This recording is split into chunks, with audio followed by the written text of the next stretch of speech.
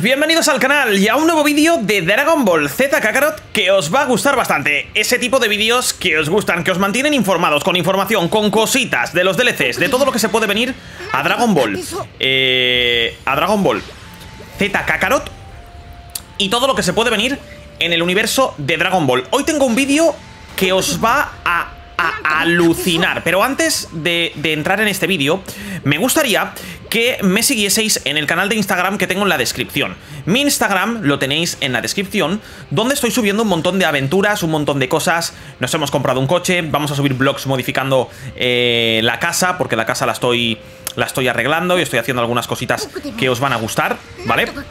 Y voy a enseñaros un poquito mi home tour y cómo va a quedar toda la casa, pero para ello os necesito a todos vosotros.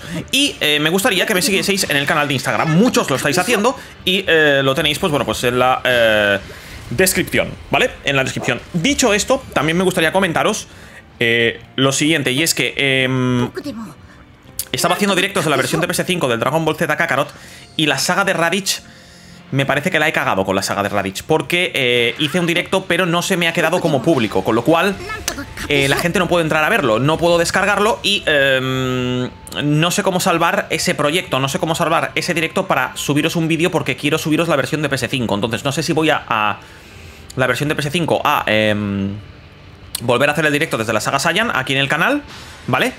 Y lo resubo o directamente lo hacemos en Twitch y lo resubo aquí en Longplay, no sé, ponedme en los comentarios y ya iríamos mirando. Pero bueno, el tema del vídeo de hoy no es ese, es eh, Dragon Ball GT o Dragon Ball Super. Ya sabéis que desde que salió el Dragon Ball Z Kakarot me preguntáis muchos de vosotros ¿Cuál es el siguiente DLC que va a salir de Dragon Ball Z Kakarot? Ya sabemos que el siguiente es el DLC número... Creo que era el 6, ¿no? Eh, teníamos el 5.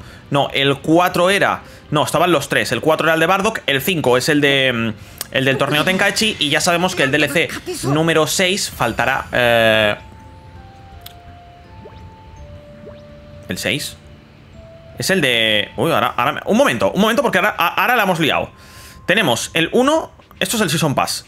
El primer Season Pass, ¿vale? Vale. Tenemos el DLC 1, el 2, el 3... El 4, perdón, el 4 es el de Kakarot. El 5, correcto, el 5 es el de Bardock.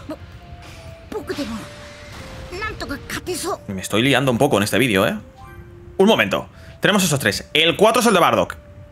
Que es el del segundo Season Pass. Vale, vale, vale. El 4 es el de Bardock. El 5 es el de Tenkaichi. Y el 6 eh, se ha anunciado, se ha filtrado por parte de Dragon Ball Super Hype. Es el... No voy a cortar este vídeo porque quiero que quiero ser lo más natural posible. ya sabéis que hay dos pases de batalla. El primero, los tres primeros DLCs. Con eh, un poquito de historia de Trunks del futuro. Y luego de eso, que es lo que quería enseñaros está el DLC 4, que es el de Bardock, el 5, que todavía no ha salido, que es el del Tenkaichi, ¿vale?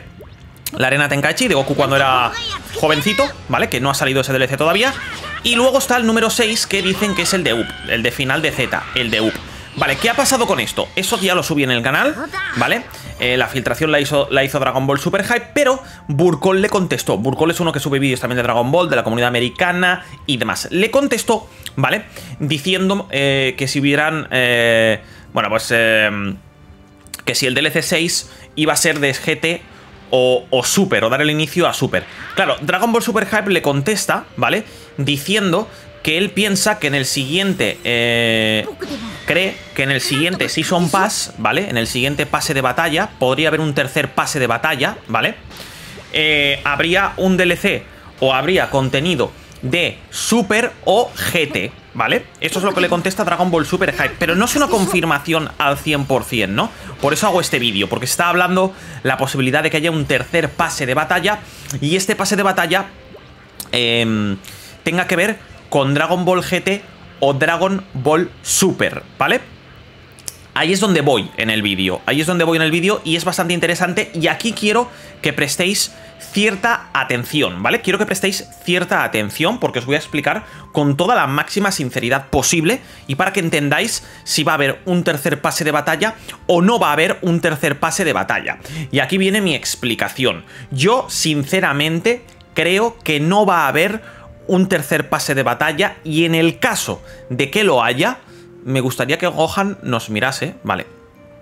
En el caso de que lo haya, no creo que vaya a haber algo de Dragon Ball Super o GT. Primero, GT no es una serie canon, no puede haber una línea temporal de GT en un juego que se basa, se basa en la serie Dragon Ball Z. Eh, no puede haber una historia alternativa. Y muchos me preguntaréis, Mark, pero es que en el primer DLC, Champa, eh, Vados y Whis no es lo mismo que pasa en la película, sí, pero lo han adaptado, ¿vale? Lo han adaptado de la película de Dragon Ball Z, La Batalla de los Dioses. Tiene la Z. Tenemos Dragon Ball Z, Resurrection No F, que es la de Freezer, ¿vale? Tenemos Dragon Ball Z, El Guerrero de la Esperanza, que tenemos eh, Trunks del Futuro, que está sacado de una película, ¿vale? Y luego tenemos Bardock, ¿vale? Tenemos la serie de Bardock, que también es de Dragon Ball Z, y está sacado incluso del Z antiguo, no de Super, no Bardock de Super, sino del Z. Me resulta muy raro que si sacan un tercer Season Pass, ¿vale? Podrían sacarlo, y ahora os diré de qué. Si sacan un tercer Season Pass, me parecería muy raro que fuese de Super o fuese de GT. Es más, si sacan un tercer pase de batalla, yo optaría por las películas, que no son canon, pero son Z, no sé si me entendéis. Lord Slug, por ejemplo, podrían sacar algo así. Podríamos tener a Medamacha, Slug, podemos pelear algo de Tarles, de Cooler, por ejemplo. Podrían sacar algo así basado en las películas antiguas de Dragon Ball Z, pero no creo que salga algo de GT. Es más, antes de salir algo de GT, saldría de Super, diría yo.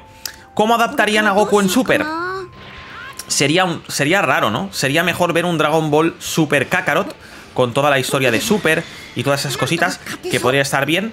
Eh, yo creo que no va a salir un DLC de GT o Super, ojalá me equivoque. Estos son solamente conversaciones que tiene Dragon Ball Super Hype con Burkol, ¿vale? Con lo cual, eh, tranquilos, no os alarméis. Si hubiese algo os lo enseñaría en el canal. Si hubiese contenido eh, o hubiese algo que tuviese que enseñaros, os lo enseñaría perfectamente aquí en el canal y os lo haría saber, ¿vale? Pero de momento el DLC que es oficial es el DLC número 5, que es el del Tenkaichi, la arena Tenkaichi, que no hay fecha, pero ya dije que yo creo que en julio se anunciaría la fecha. En la Comic Con podría ser, ¿vale? Incluso en la Comic Con creo que es algo bueno para ver algo del Tenkaichi, ¿vale? Si no es en la Comic Con, seguro, seguro 100% que en la Tokyo Game Show, ¿vale? Pero en la Comic Con podríamos ver algo. Yo creo que podríamos ver algo en la Comic Con de lo que es Dragon Ball, algún anuncio, algo que nos diga eh, acerca de esos DLCs, porque ya llevan bastante tiempo sin sacar contenido eh, o la fecha del DLC número 5. Sé que hay que construir muchas cosas, sé que son cosas bastante... Eh, están poniendo modos nuevos y eso se necesita trabajarse y necesita hacerse bien, pero creo que es demasiado tiempo. Yo creo que julio saldría el DLC. Si no es julio, seguro 100% agosto. No se puede ir a septiembre este DLC. Si no es junio... Si no es julio, perdón, sería agosto. No se puede ir tanto este DLC, no se puede ir tanto. Y por supuesto, lo tendremos en el canal.